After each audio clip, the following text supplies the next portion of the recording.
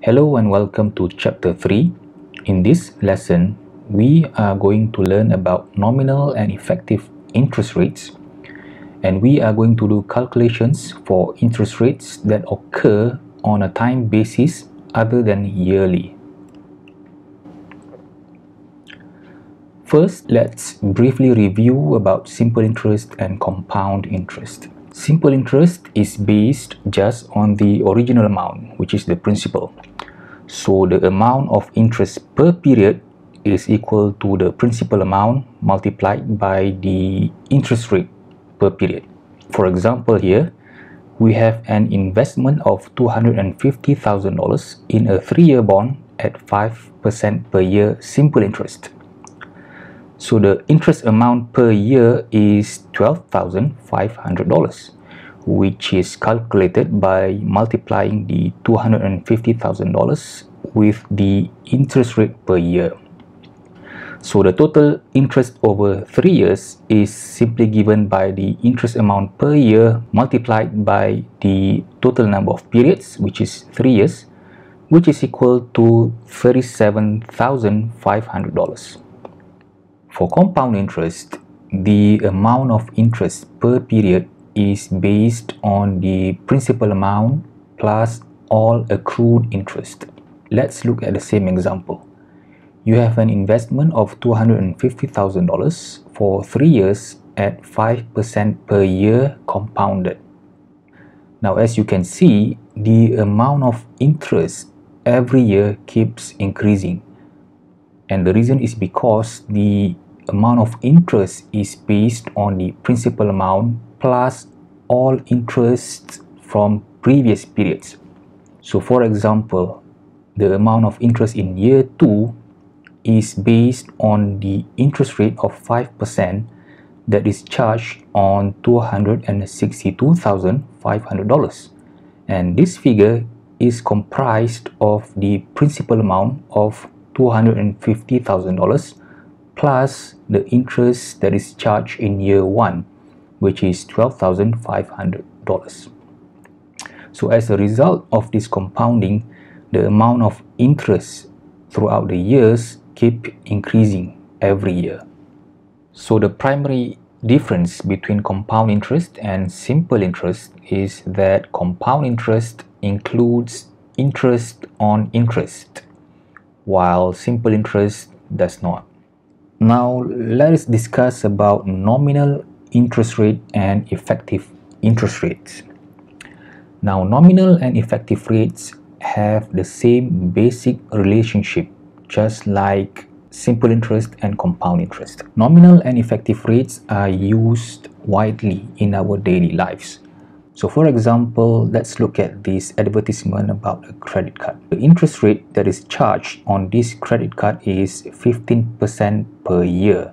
But what is not explicitly clear on this advertisement is what is the compounding period or the compounding frequency. Because if the compounding is more frequent than once a year, then you are effectively charged more than the stated amount of 15% per annum. So in this lesson, we are going to learn about nominal and effective rates and how to convert a given nominal rate into an effective rate.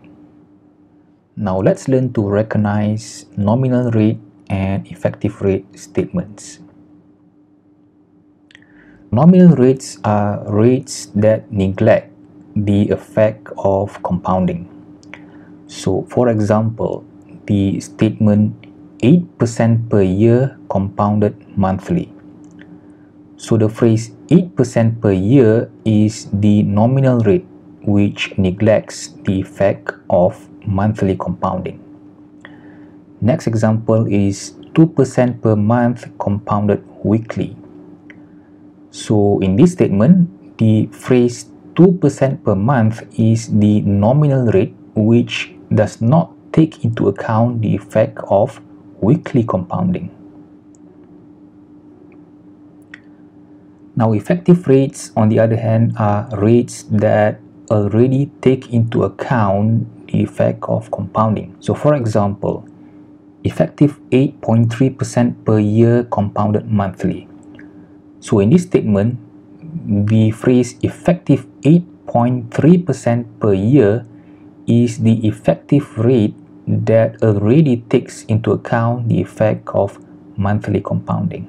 Nominal rates can be converted into the equivalent effective rate, but because effective rates are rates that consider the effect of compounding, therefore, effective rates are always bigger than nominal rates. Now let's scrutinize this statement. 15% per annum compounded monthly. So what we do know now is that the rate 15% per annum is a nominal rate because the rate does not take into account the effect of monthly compounding. So what it means is that the interest rate per month is 1.25% and the frequency of compounding throughout one year is 12 because the nominal rate is compounded monthly and there are 12 months in a year.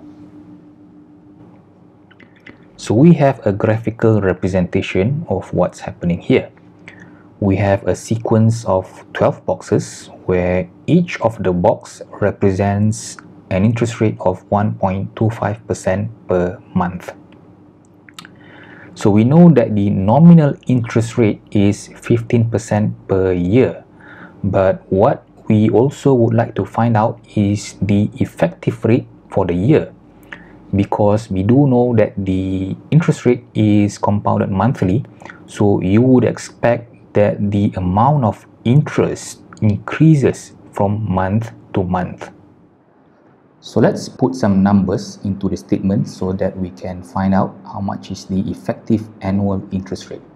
So we borrow $100 for one year at 15% per annum compounded monthly and we want to find out how much would our interest be.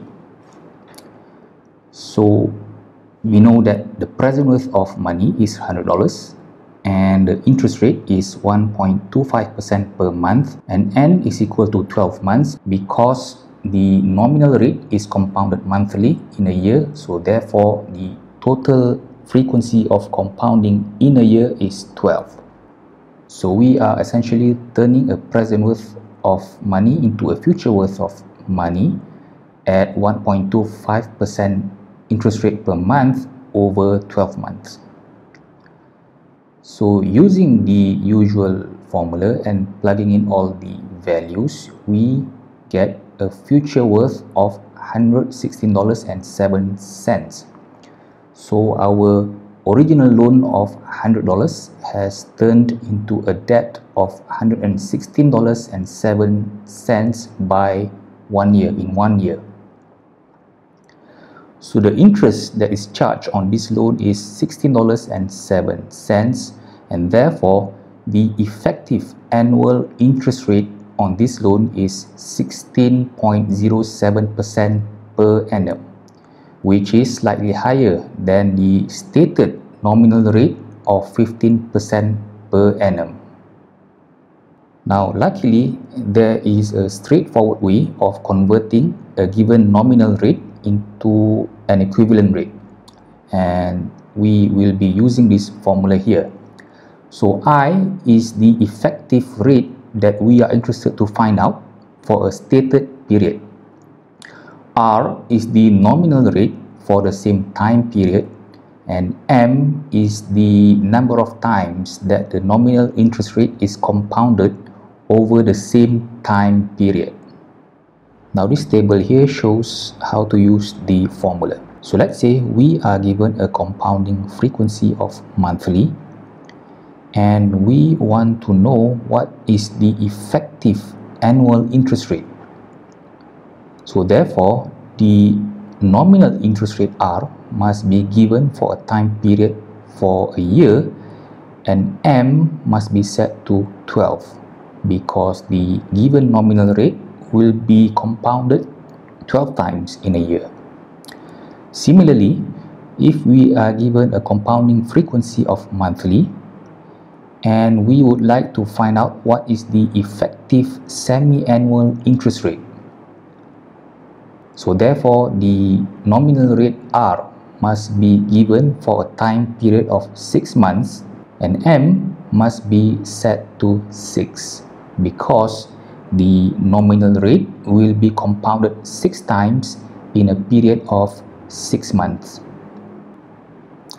So let's try this simple example together we have an interest rate of 12% per year compounded quarterly and we are interested to find out what is the effective annual interest rate. So we want to find out what is I, the effective annual interest rate, given that the nominal annual rate is 12% per year and that this 12% per year is compounded four times in a year. So M must be set to 4. So when we plug in all these values, we get I, which is the effective annual interest rate of 12.55%. And this annual rate, this effective annual rate takes into account the effect of compounding, quarterly compounding in a year. And that is why the effective annual rate is slightly higher than the stated nominal interest rate of 12% per year. Here are more examples on nominal and effective rates for you to try. So for nominal rate, they are rather straightforward because no compounding period is involved. So in this example, you are given a nominal rate of 1.5% per month and you are asked to determine the nominal rate per quarter per year and for two years. So for a period for one quarter, there are three months, so you can just multiply the nominal rate per month with a total period of three months. And that gives you a nominal rate of 4.5% per quarter. So you can try the rest of the example for a period of one year and two years. Now let's try the example for effective rate. Now a credit card rate is 1.5% compounded monthly. We want to determine the effective rate per quarter and per year. So for a quarter, there are three months and the nominal rate given is 1.5% per month. So R, the nominal rate for three months is just the 1.5% per month multiplied with three months and that gives you a nominal rate of 4.5% in a quarter. M must be set to 3 because there are 3 months in a quarter. So this nominal rate of 4.5% will be compounded 3 times in that quarter. So plugging in all these values, we get an effective quarterly rate of 4.57% which is as expected slightly higher than the nominal rate of 4.5%. So please try the example for a period of one year. Now let's talk about effective continuous interest. Effective continuous interest happens when the compounding frequency m approaches infinity so in this case, the effective continuous rate is given by e to the power of r minus 1, where r is the nominal rate. So for example, 14% per year compounded continuously translates into an effective continuous rate of 15.03% per year. Right, so we have reached the end of the lesson. Thank you for your attention.